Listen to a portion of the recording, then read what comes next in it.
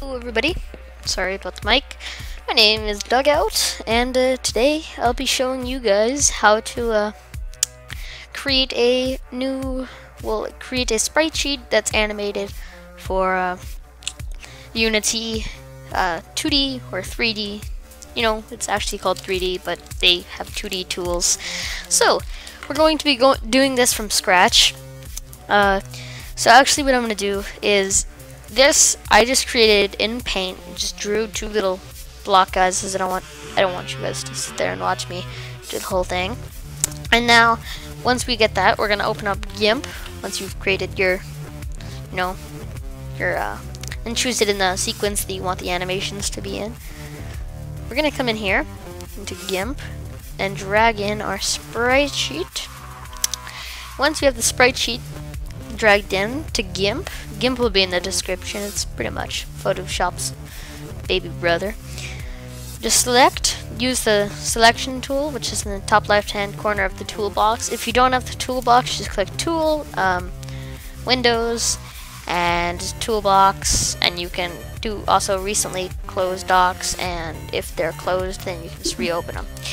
So, once we have this selected, we're going to go down to the color, select color by select by color tool. We're going to click the background. Once we've clicked the background, click delete, delete, delete, never mind. Excuse me, do control C to copy that and then control shift V. Open this up, then select this. Now select the background and click delete. So now we've got our sprite sheet made.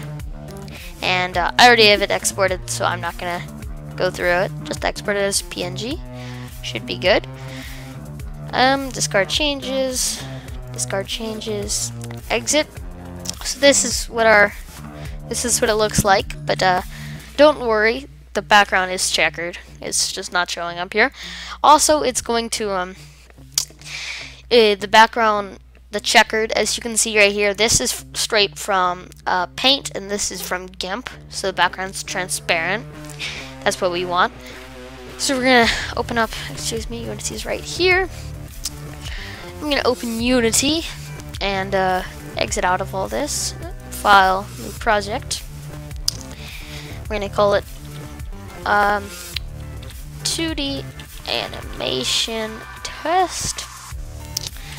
And now we're going to select 2D as our default. Make sure that's you don't need any of these. And also browse in here, desktop. We're gonna I, as you can see, I messed up. The reason I messed up is because I uh, set the defaults for 3D, which kind of messes everything up. So now, once we're in here, we're to call it animation test tube. TT tubes. Alright, now once you have the folder, now open it up, click select folder, folder, whatever you want to call it, click create, let Unity do its magic like it always does. Okay, once Unity has done its magic, uh, then you're in here. So also, the reason that I have these tabs is, I'll go ahead and show you, uh, these two tabs. Actually, you won't need the animator, but it's just a uh, nice tool to have.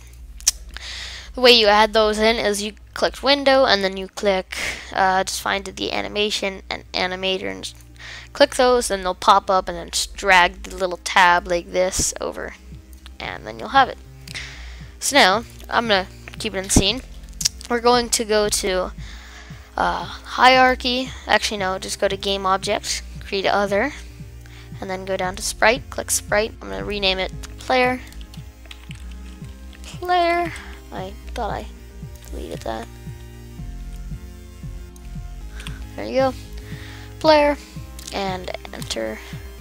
So that's going to be updated over here. In assets, let's just get our bring over our gimped uh, sprite sheet.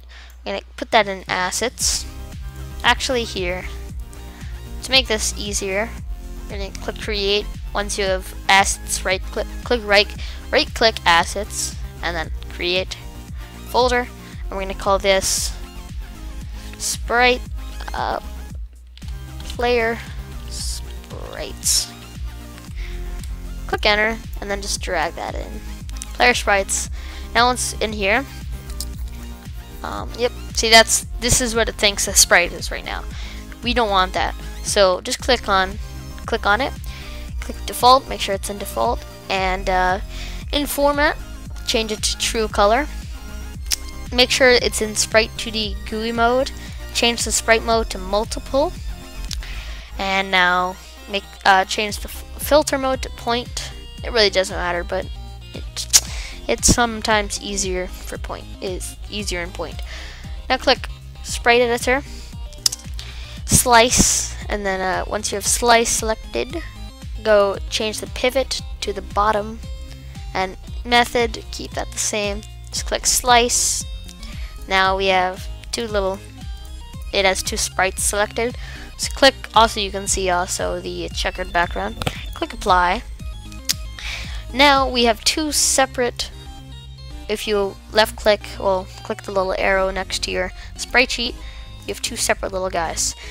So we're to come into animation and player, select player in the hierarchy and then go to animation and click add curve. I'm going to call this player uh, running running, save, and once we have it opened up, just control, just hold control, select both of them, um, add curve. I think that's it. No, it's not. Why can I not? Animator. hierarchy. Um, maybe select this. There we go. I guess then just... Okay. Alright. Select that then. I thought I had it right the first time. So now you can just click the little test button and you can see that animation's way, way, way too fast. So we're gonna come in here. Uh, no, excuse me, don't don't do that, don't do that. Nah, just put that back to 2. Come into the sample, and uh, in the sample, I'll change this to say 6. See? I think I did something wrong. I really just want these two. Beat key. Is this right? Yeah, it's right. See, now we've got a little guy who's running on screen, and uh, sorry about the little uh, technical difficulties, but uh, you know, this is how you create an animated sprite and put it into Unity. So now we get a little player that's running. If we go into game, you can see I'm running the game. Alright, and uh, so that's it for this tutorial. And if you have any questions, ask me down in the comments, and I'll see you guys later. Peace.